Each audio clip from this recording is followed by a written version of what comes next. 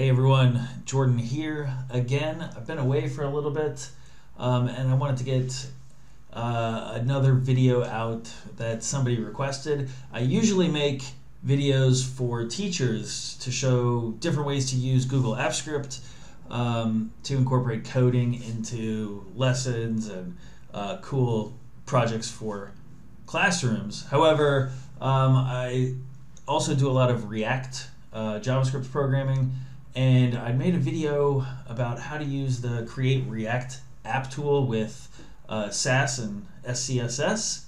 Um, and that has since updated since the last time I made a video about that. So I'm going to show how to uh, go ahead and use those updates.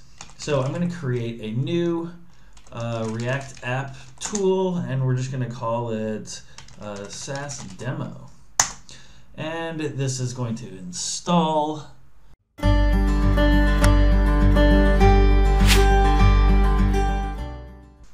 Okay, now that that is done, I'm going to go ahead and CD into my Sass demo.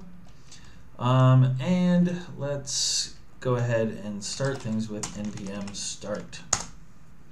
Um, that runs uh, the dev server and I'm going to go ahead and let's put that off on the side. And let's open up the code.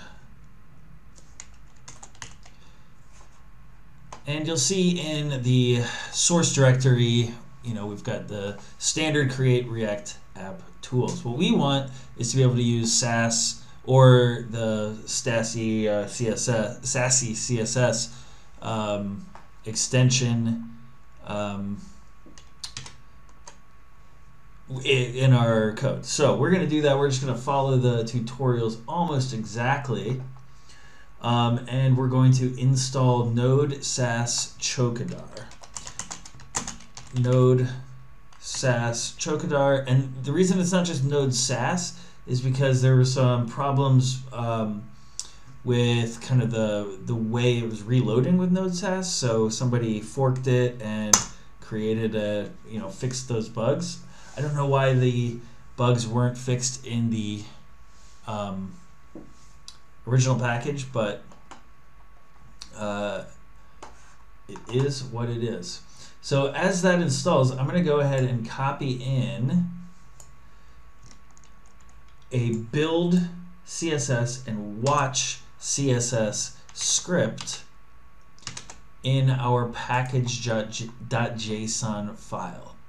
So right here in the scripts um, array of package.json, we've got a build CSS and watch CSS. And what this is doing is it is, they're just little um, scripts that you can run from the command line. Um, and the reason that the watch CSS is so long is because it kind of um, it allows you to do uh, relative paths um, uh, imports in your uh, style sheets. So, I guess they're absolute paths. Relative paths? Absolute paths. Um, I actually can't remember. If you remember whether they're absolute paths or relative paths, uh, leave a comment below. Let me correct me. Um, and then we need to do, ah, we actually want to run this when we run npm start. And to do that, we're going to install another package, npm run all. Uh, and what that'll allow us to do is change the uh, start and build scripts here. Um, I'm going to actually just comment them out for right now, and I'll delete them in a second because I don't think you can actually have commented uh, code in your JSON files. Um, but we need to actually make it so we've got a start JS. Then we want uh, we want to replace that original start script. Um, and we're going to put that npm run all command that's going to run watch CSS right here and start JS right here at the same time. And then we want to actually replace the build and that's going to do the same thing. It's going to run build CSS and React scripts build. So it's going to run this command and then where's our build? Oh, it's in the scripts folder. Um, so that should be all we need to do to have everything running. Failed to save package.json. Why is that not working? Okay. So, um, let's go ahead and, and, oh, I should still have it running here. But I need to go ahead and close my dev server. We're going to run npm start again. And now,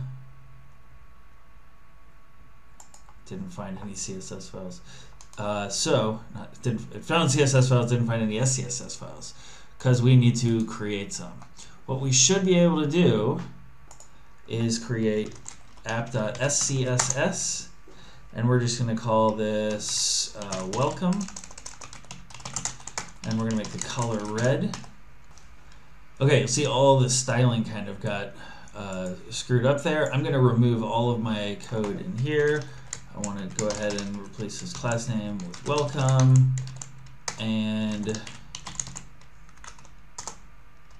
inside this div tag, let's just say hello to all coders. Fix my indents. You'll see this reloads with red. So this SCSS file is actually, uh, it's watching for changes in this file and then it is throwing it into the original app.css. So in our JS files and our React files, we are still linking to the CSS. All that's happening is on the run, it is uh, uh, Node Sass is looking at it, reformatting it into CSS, and we've got working Sass and CSS. You can also, so if I, um, yeah, you can use Sass files too. It doesn't have to be CSS uh, what can I do here? Let's go app.sass and we'll do welcome. Cannot type when I'm making videos. Um, and of course in Sass there's no brackets welcome and we're going to do color red and I'm going to delete the CSS. I'm sure it causes problems. So in this, let's make it blue so we know that there's something different. There we go. Hello to all coders in blue.